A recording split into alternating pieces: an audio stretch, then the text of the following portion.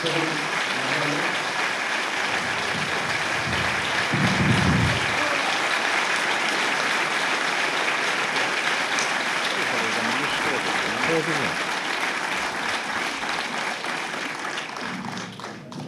και φίλοι, συντρόφισσες και σύντροφοι, σας καλησπερίζω. Είναι πράγματι σημαντικό το μερτικό μας, όπως είπε ο Χρήστος Οκορτζίδης.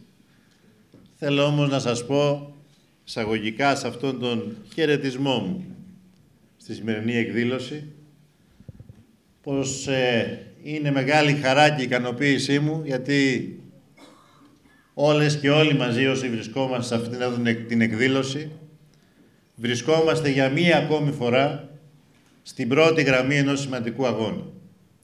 Για να υπερασπιστούμε για μία ακόμη φορά το δημόσιο χώρο, για να υπερασπιστούμε για μία ακόμα φορά το δημόσιο πλούτο.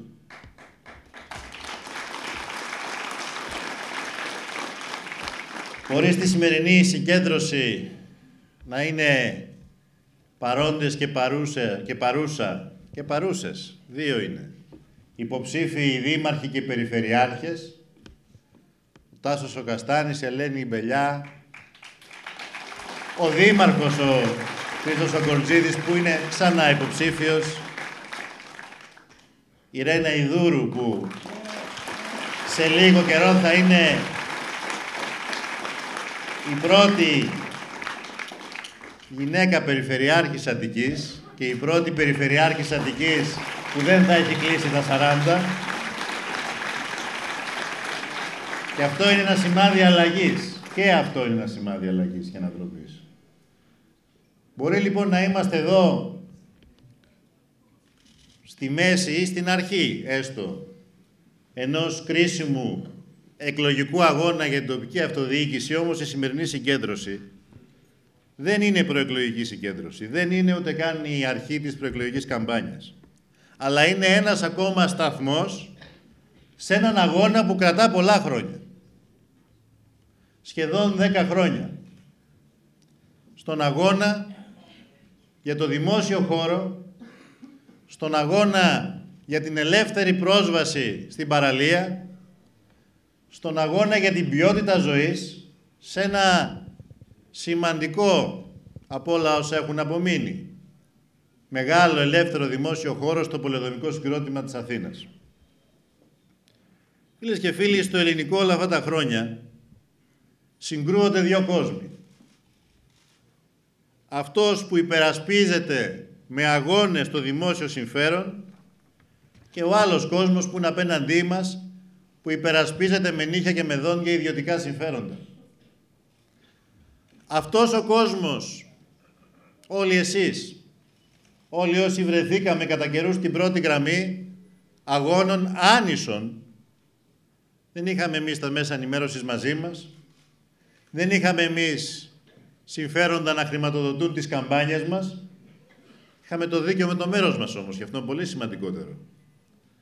Από τη μια μεριά λοιπόν ο κόσμος που υπερασπίζεται την ήπια ανάπτυξη με σεβασμό στο περιβάλλον και από την άλλη ο κόσμος που προωθεί την fast track εκποίηση του δημόσιου χώρου.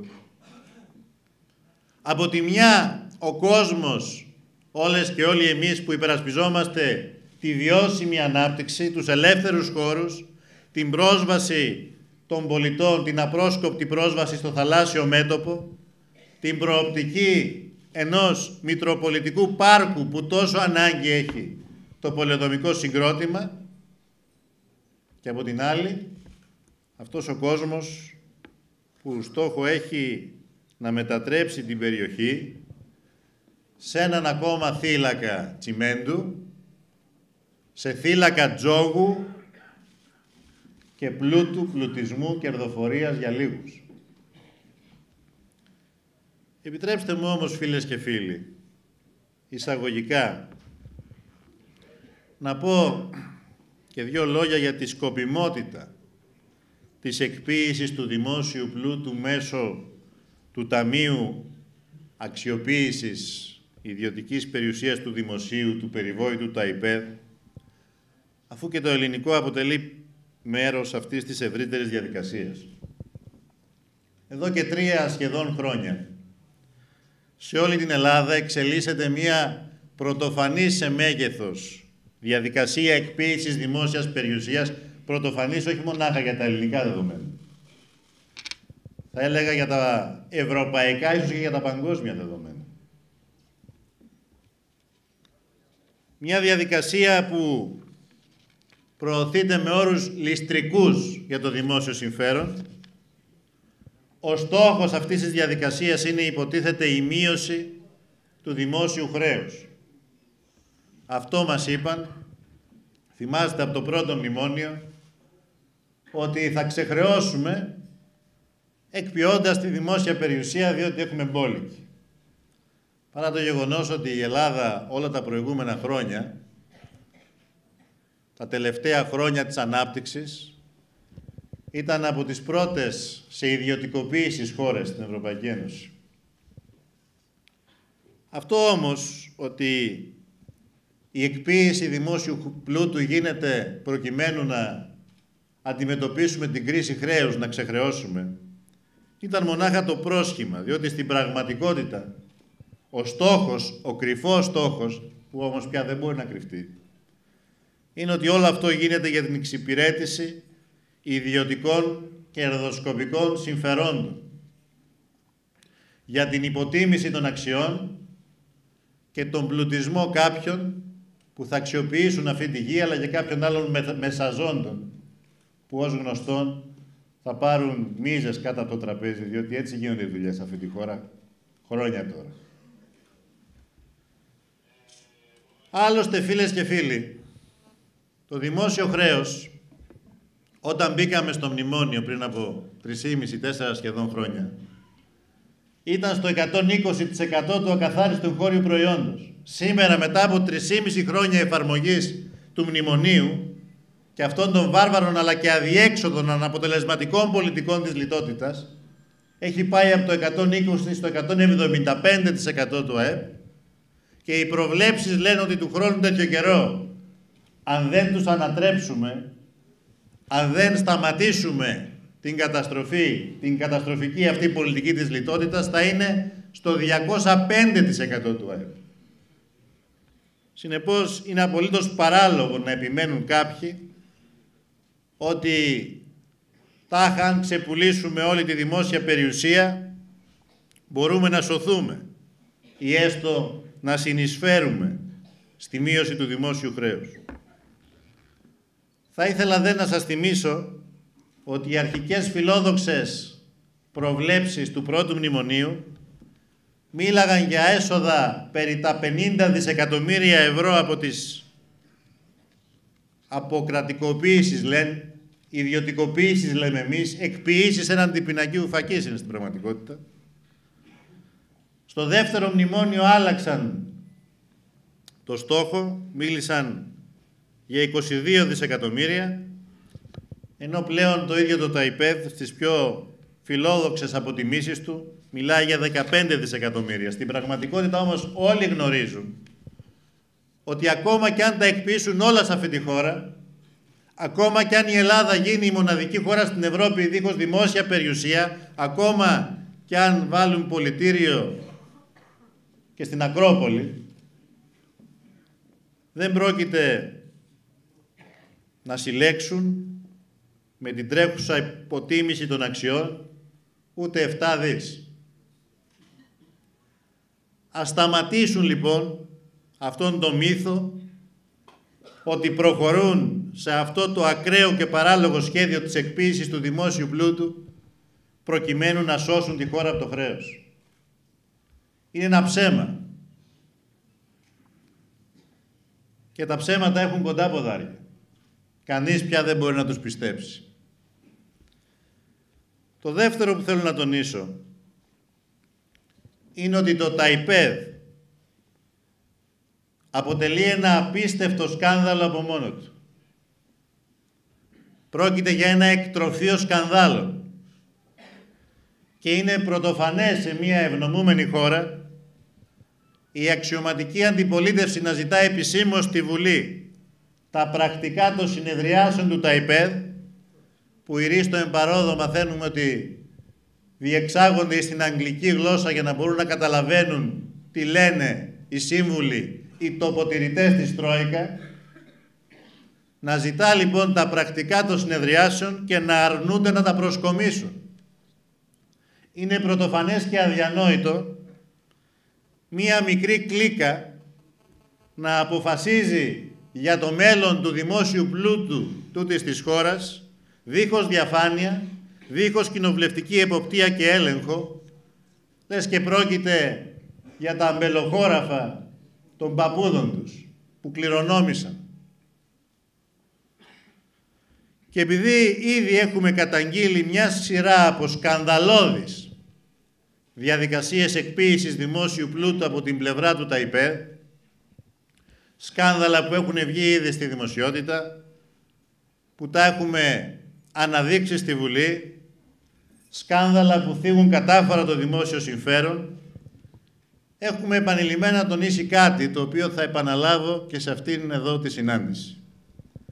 Όλες οι συμβάσεις, όλες οι παραχωρήσεις δημόσιου πλούτου θα επανελεγχτούν ως προς την νομιμότητά τους και ως προς τη διασφάλιση του δημόσιου συμφέροντος από τη νέα Βουλή που θα προκύψει από τις εκλογές που σύντομα θα δώσουν εντολή σχηματισμού κυβέρνησης κοινωνικής σωτηρίας στο ΣΥΡΙΖΑ και στις δυνάμεις ανατροπής.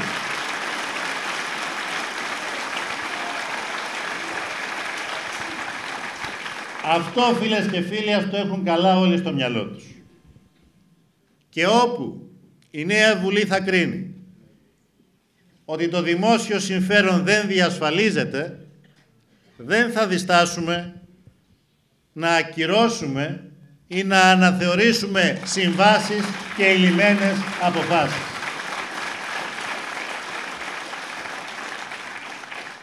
Και κάτι ακόμα. Η μόνη υπόσχεση που μπορούμε να δώσουμε με τα βεβαιότητα όσον αφορά τις προθέσεις μας είναι ότι τίποτα και κανένας δεν πρόκειται να ξεχαστεί. Όσοι με πράξεις ή παραλήψεις έβλαψαν το δημόσιο συμφέρον θα κριθούν από την ελληνική δικαιοσύνη για τις πράξεις και τις παραλήψεις.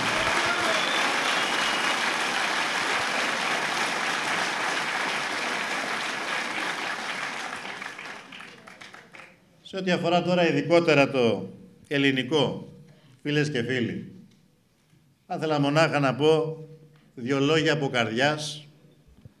Άλλωστε, τις λεπτομέρειες θα τις αναλύσουν τόσο η Νάντια Ευαλαβάνη στο χαιρετισμό της που έχει ασχοληθεί ειδικά στη Βουλή από την πλευρά της κοινοβουλευτικής ομάδας του ΣΥΡΙΖΑ με το θέμα του ΤΑΙΠΕΔ και άρα γνωρίζει πτυχές που αφορούν και το ελληνικό, όσο όμως και η υποψήφια περιφερειάρχης και αυριανή περιφερειάρχης Αττικής, η Ρένα Ιδούρου.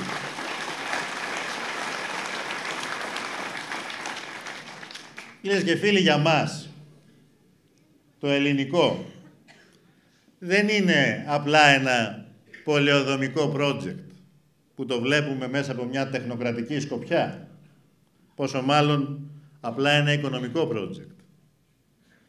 Για μας το ελληνικό είναι ένα κομμάτι της συλλογικής μας αγωνιστικής συνείδησης. Είναι το τοπόσιμο των αγώνων, των κινημάτων πόλης, για την υπεράσπιση του δημόσιου χώρου.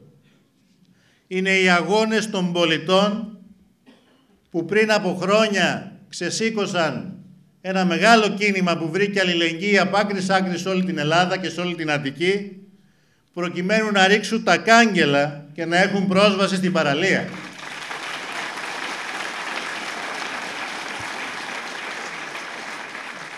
Είναι οι αγώνες του Δήμαρχου του Χρήστου του Κορτζίδη που με διακινδύνευση της ίδιας του της ζωής τα έβαλε με τα μεγάλα συμφέροντα και με τη μαφία της νύχτας και τα νίκησε αυτά τα μεγάλα συμφέροντα. Δεν είναι λοιπόν για μας το ελληνικό ένα project. Είναι κατάθεση ψυχής. Είναι όμως και ένα μοντέλο μοντέλο αυτοδιαχείρισης της κινηματικής και συλλογικής δράσης.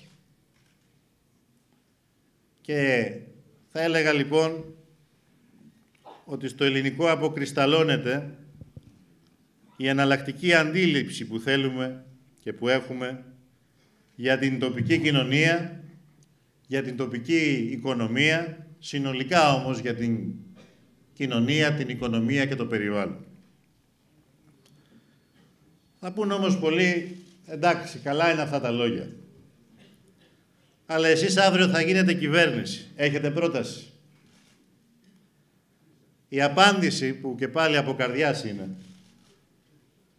η απάντηση είναι ότι όποια και αν ήταν η δική μας πρόταση, δεν θα μπορούσαμε στο ελληνικό ιδίως να αγνοήσουμε την θέση, την άποψη που συλλογικά εκφράζεται από την, από την τοπική κοινωνία που χρόνια τώρα αγωνίζεται, από τα κινήματα των πολιτών και κυρίως δεν θα μπορούσαμε να αγνοήσουμε και τις προτάσεις των επιστημονικών φορέων, των ειδικών, για την αξιοποίηση της έκτασης του παλιού αεροδρομίου προς όφελος του δημόσιου συμφέροντος.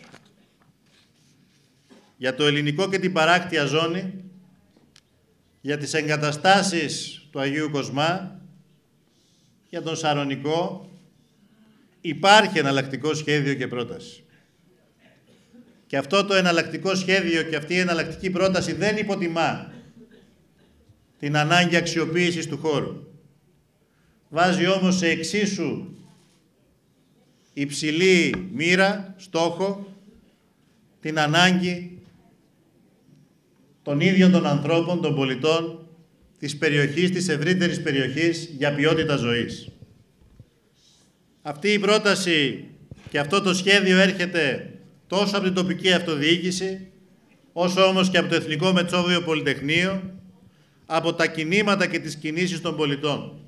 Και είναι και τεκμηριωμένη και κοστολογημένη.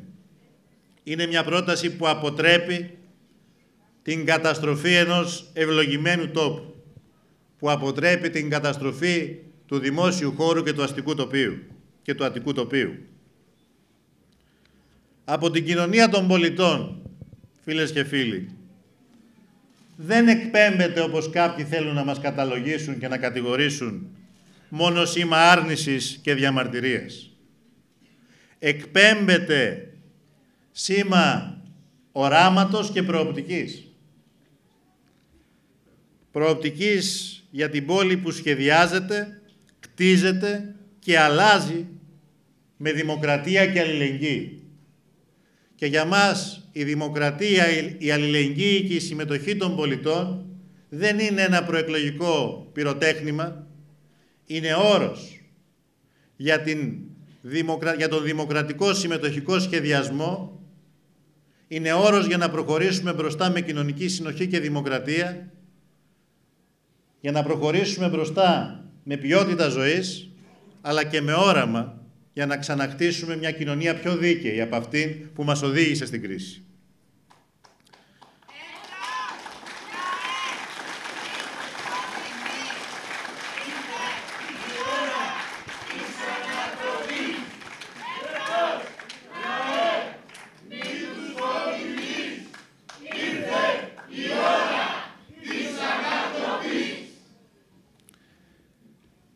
Για την πόλη λοιπόν που σχεδιάζεται, κτίζεται και αλλάζει με δημοκρατία και αλληλεγγύη, όχι για να δοθούν κάποια ψίχουλα, ελάχιστα εκατομμύρια μπροστά στα δισεκατομμύρια του χρέους, στον ειδικό λογαριασμό που έχουν ανοίξει οι δανειστές για το χρέος, όχι για να μπαίνουν προσβλητικές ρήτρες όπου το δημόσιο θα είναι υπόλογο έναντι των επενδυτών ακόμα και για κάθε νόμιμη πράξη και ενέργειά του, αλλά για να αξιοποιηθεί αρμονικά, λειτουργικά, περιβαλλοντικά, ένα πολύ σημαντικό απόθεμα δημόσιου ελεύθερου χώρου μέσα στο τραυματισμένο πολεοδημικό συγκρότημα της Αθήνας.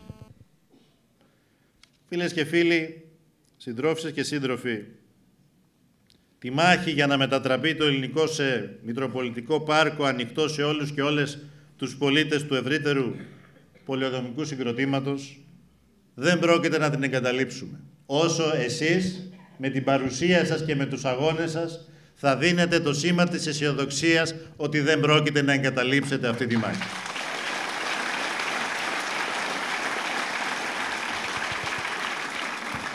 Και αυτό το όραμα για το οποίο σας μίλησα πριν, το όραμα της συμμετοχής, της δημοκρατίας, της ποιότητας ζωής, δεν είναι, όπως θα έλεγε κάποτε κάποιοι, μία ουτοπία ή μια ρεαλιστική ουτοπία, αλλά είναι ένα όραμα που μπορεί να γίνει πράξη, απολύτως ρεαλιστικό, γιατί είναι πολύ κοντά η μεγάλη πολιτική ανατροπή που θα βάλει ξανά στο επίκεντρο της πολιτικής τις ανάγκες των πολλών.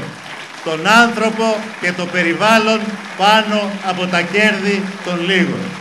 Και όσο βλέπω την αισιοδοξία στα πρόσωπά σας, τόσο πιο αισιόδοξος είμαι κι εγώ. Αυτόν τον αγώνα θα τον κερδίσουμε. Καλή δύναμη. Καλούς αγώνες και με την νίκη. Να είστε καλά. Γεια σας.